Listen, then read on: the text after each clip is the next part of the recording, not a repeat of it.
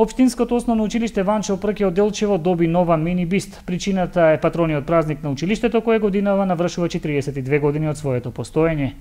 Чест и гордост ми е да им го честитам празникот на вработените. Училиштето денес слави 42 години постоење. Патронот на нашето училиште Ванчо Прке доби оваа година биста. Бистата е изработена од наш ученик.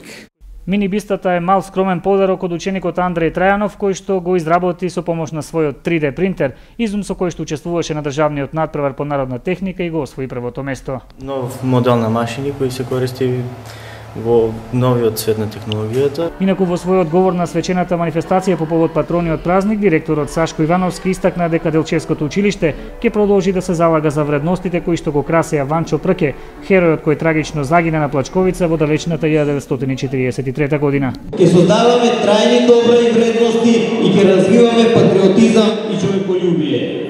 Тоа беше негова желба, тоа беше негов аманет, тоа е наш завет. Инаку во источниот регион, освен Делчевското основно училиште, името на Ванчо Прке го носи и Средното обштинско училиште во Виница, како и основното училиште во Штип.